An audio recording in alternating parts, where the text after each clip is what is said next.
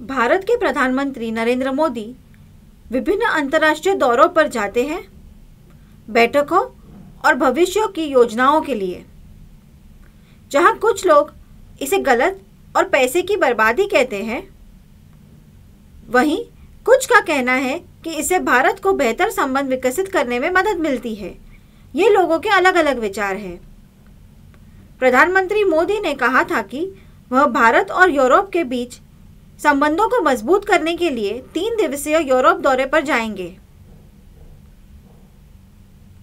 उन्होंने यह भी कहा था कि दौरे के दौरान वह यूक्रेन पर, रूस के आक्रमण पर तथस्थ रुख अपनाएँगे। कल 2 मई 2022 को प्रधानमंत्री मोदी ने आखिरकार अपना दौरा शुरू किया और बर्लिन, जर्मनी के लिए उड़ान भरी। जर्मन चांसलर ऑल्फ स्कॉल्स, जो भारत के प्रधानमंत्री की तरह है, ने बर्लिन में उतरने पर प्रधानमंत्री मोदी का स्वागत किया। मोदी ने चांसलर ऑल्फ स्कॉल्स के साथ बातचीत की और दोनों नेताओं ने दोनों देशों की बड़ी कंपनियों के सीईओ से भी मुलाकात की।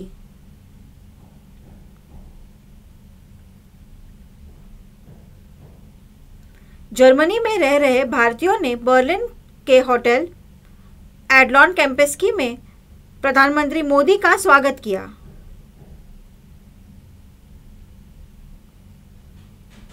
लोगों ने तालियाँ बजाई और वंदे मातरम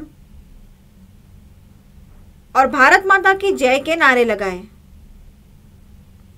प्रधानमंत्री मोदी लोगों के बीच चले, बच्चों व उनके अभिभावकों से मुलाकात की। जर्मनी में भारतीयों को संबोधित करते हुए उन्होंने कहा, रूस यूक्रेन युद्ध में जीतने या हारने का कोई फ़ायदा नहीं है। मैं शांति के पक्ष में हूँ, क्योंकि यह सिर्फ़ दोनों देशों के नागरिकों को भुगतना पड़ता है। यह देखकर दिल दहल जाता है, इसलिए मुझे शांति पसंद है।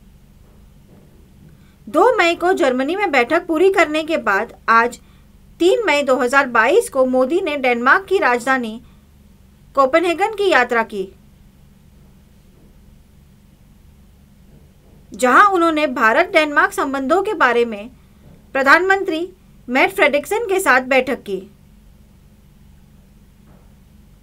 मोदी ने वहाँ रहने वाले भारतीय नागरिकों से भी बातचीत की। उन्होंने दूसरे भारत नॉर्डिक समिट में भाग लिया,